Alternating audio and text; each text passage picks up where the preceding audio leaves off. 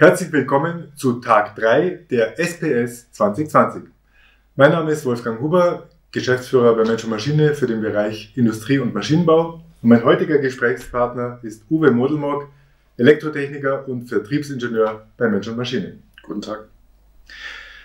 Nachdem wir uns am Tag 1 mit Disziplinen wie Hydraulik, Pneumatik, Elektrotechnik und deren Zusammenspiel befasst haben, und am Tag zwei mit der Zusammenarbeit zwischen Mechanik und Elektrotechnik, also der Mechatronik, wollen wir uns heute befassen mit der Zusammenarbeit zwischen Elektrotechnik und dem Gebäude, also der Architektur der Bauplanung.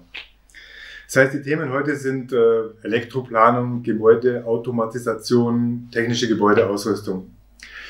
Ja, wenn man von Gebäude spricht, von Architektur, dann fällt schnell das Stichwort BIM. Was haben wir mit BIM zu tun? Ja, BIM steht für Building Information Modeling, eine Methode, die Prozesse im Bauprozess, äh, im Baubereich zu optimieren. Und Mensch-Maschine beschäftigt sich schon sehr lange mit dem Thema.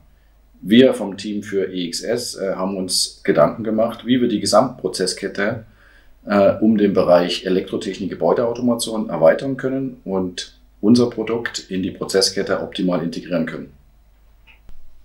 Okay, du hast jetzt beschrieben, was BIM heißt. Was bedeutet das jetzt konkret für den Elektroplaner? Konkret heißt das für den Elektroplaner, dass wir mit Autodesk Revit ein Werkzeug in die Hand geben, in der er seine Planung, in die Gesamtplanung des Gebäudes integrieren kann. Das heißt, in einem Modell kann sowohl die Architekturplanung, die Heizung, Lüftung, Sanitärplanung und auch die Elektrotechnikplanung erfolgen. Bedeutet das dann in 3D?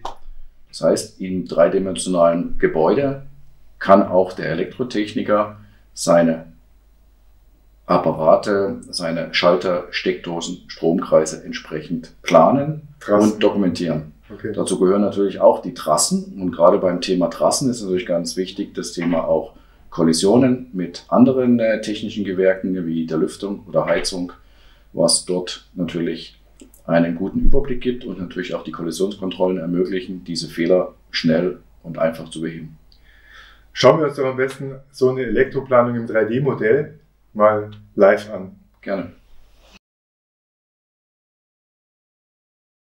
Die Elektroplanung bei BIM-Projekten wird grundsätzlich im 3D-Gebäudemodell wie hier in Autodesk Revit durchgeführt. Der Elektroplaner kann sich das 3D-Gebäudemodell vom Architekten entweder als Revit-Modell im sogenannten IFC-Format oder über einen 3D-Scan als Punktwolke hinzuladen. Die Kabelverlegewege, wie jetzt Trassen und Installationsrohre, können mit einfachen Befehlen in 3D sehr schnell geplant und auch ausgewertet werden. Am Ende erhält man natürlich einen kompletten Massenauszug über jegliche Formteile, die im Gebäude vorhanden sind. Zum eigentlichen BIM-Prozess gehört natürlich auch die interaktive Zusammenarbeit mit anderen Gewerken. Hier sieht man jetzt ganz schön, dass man eine Kollisionsüberprüfung zwischen Kabeltrassen und einem anderen Gewerk, wie jetzt den Lüftungskanälen, sehr einfach durchführen kann. Der ja schon fast Klassiker auf der Baustelle, nämlich Kabeltrasse trifft auf Lüftungskanal, wird somit vermieden und natürlich aber auch die dadurch entstehenden Mehrkosten. Die Stromgasverwaltung in Autodesk Revit und auch dann letztendlich das Erzeugen der entsprechenden Verteilerpläne schauen wir uns jetzt mal hier anhand dieses Gebäudes an. In diesem Gebäudemodell sind eine Niederspannungshauptverteilung und acht Unterverteiler mit insgesamt 168 Stromkreise verplant. Wie bereits erwähnt, werden in der Grundrissansicht die Installationssymbole platziert und somit auch die Stromkreise definiert. Jede Elektrokomponente wird einem Stromkreis und dieser wiederum einem Verteiler zugeordnet wobei jeder Stromkreis aus Stromkreisnummer und Stromkreisbezeichnung besteht. Und wie weist man nun einem neuen Symbol, beispielsweise jetzt hier diese Doppelsteckdose, einen neuen Stromkreis zu? Na, zunächst kann man die vorhandene Doppelsteckdose einfach mal kopieren und um 1,50 Meter nach rechts versetzen. Über die vorhandene Doppelsteckdose öffnen wir den Stromkreiseditor und ergänzen den entsprechenden Stromkreis um eben diese neue Doppelsteckdose. Später kann man dann über die Eigenschaften der Steckdose immer wieder auf die Stromkreisnummer und auch als Element bezeichnet den Verteilername zurückgreifen. Bei den Verteilern wird die Gesamtlast berechnet. Diese Gesamtlast setzt sich zusammen aus den einzelnen Lasten der jeweiligen Stromkreise und zwar auch unter Berücksichtigung eines Gleichzeitigkeitsfaktors. Ja, wir haben jetzt die Planung im 3D-Modell gesehen, aber ist es damit erledigt oder kommt da noch irgendwas? Da fängt für einen Großteil der Elektroplaner natürlich die Arbeit erst an, nämlich die Erstellung des Verteilerplans. Dafür sind alle Informationen im Revit vorhanden, so dass wir eine für den Elektroplaner notwendige Stückliste, Ausgabe äh, erzeugen können, in dem alle Stromkreise, alle Raumnummern und äh, alle Verteiler enthalten sind. Das kann man im Revit machen. Im Revit werden Stromkreise und Verteiler im dreidimensionalen Raum geplant mhm. und in einer Stückliste ausgegeben. Und wie kommt dann EXS ins Spiel? Wir vom EXS nehmen über unsere Integration diese Stückliste auf und erzeugen dort nach entsprechenden Anwendervorgaben automatisch einen Verteilerplan. Automatisch? Das, die Erzeugung des Verteilersplans erfolgt äh, automatisch. Dem Anwender werden Werkzeuge in die Hand gegeben, um die Erzeugung zu konfigurieren, sprich welche Blattformate werden verwendet, welche Titelblätter werden verwendet, Anzahl der Stromkreise zum Beispiel auf einem Blatt Papier und so weiter. Also als Laie heißt es äh, für mich als Laie, ähm, der drückt auf den Knopf und dann äh, rattern die Stromlaufpläne. genau, das ist, äh, das ist die, die Anforderung der Anwender, dass auf Knopfdruck fehlerfreie automatisierte Verteilerschemen erstellt werden und damit Fehlerquelle Excel-File, Papierdokumentation und ähnliches ausgeschlossen werden können. Das sollten wir uns live anschauen. Gerne. Genau, schauen wir uns mal an, wie wir aus der Elektroplanung im 3D-Modell Verteilerpläne erzeugen. Nun, zunächst geben wir einfach die kompletten Stromkreise in einer Stromkreisliste aus. In dieser Stromkreisliste sind alle notwendigen Daten vorhanden. Hier in diesem Gebäude sind es sogar insgesamt 168 Stromkreise. Aus Autodesk Revit wird ganz einfach diese Stromkreisliste als Datei im Excel-Format exportiert. In EXS wiederum können wir dann diese Stromkreisliste für die automatische Generierung der Verteilerpläne weiterverarbeiten. Diese Liste wird einfach importiert und über ein sogenanntes Feldmapping haben wir die Möglichkeit dann, diese einzelnen Spalten oder beziehungsweise deren Inhalte EXS-Parametern zur Weiterverarbeitung zuzuweisen. Der nächste Schritt ist, dass wir hier in diese Liste eine Struktur hineinbekommen. Zum einen haben wir ja die Angabe unserer Verteiler und zum anderen gilt es ja, dass wir pro Verteiler eine bestimmte Anzahl von Seiten benötigen, um unsere Stromkreise zu platzieren. Das können wir per Knopfdruck berechnen lassen. Danach wird die komplette Liste mit den Zeilenumbrüchen, das sind die grünen Linien, einfach kopiert in die Zwischenablage. Der dritte Schritt ist, dass wir dann über das Einfügen der Liste automatisch die spätere Projektstruktur mit ihren Verteilern erzeugen.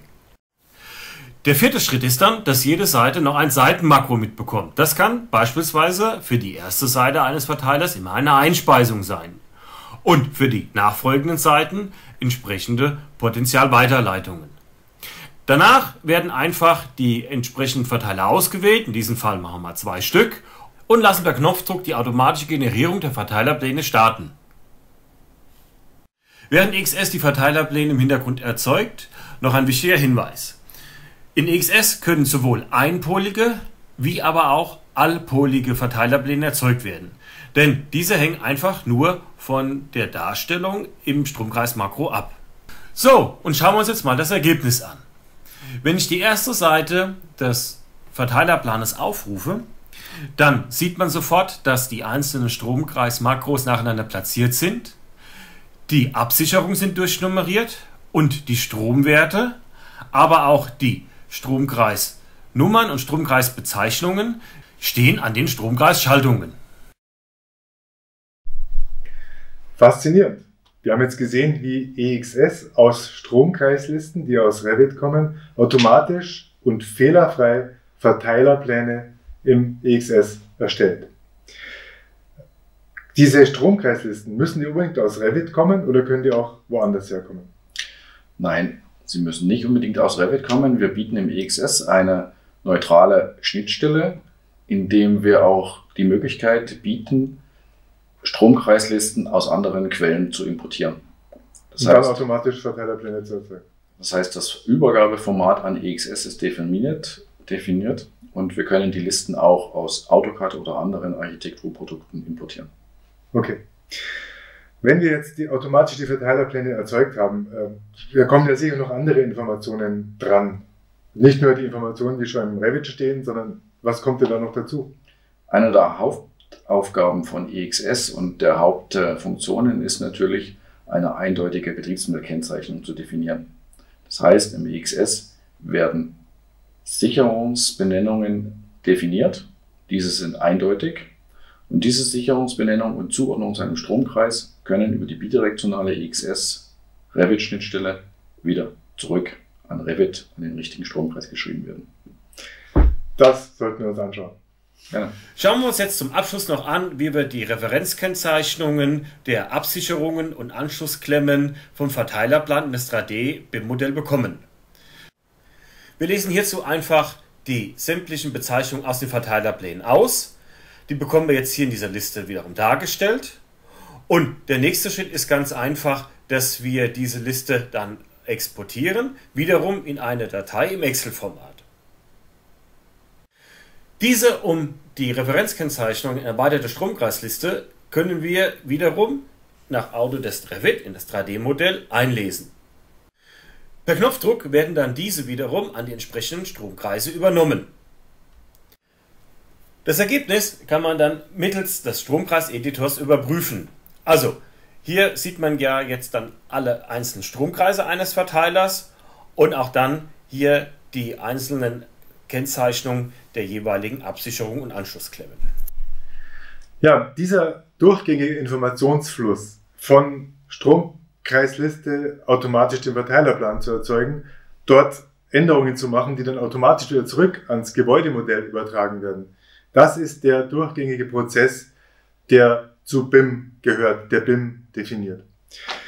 Wenn Sie darauf neugierig geworden sind, dann besuchen Sie uns an unserem Messestand unserem virtuellen Messestand auf der SPS 2020. Wir freuen uns auf Willkommen. Danke.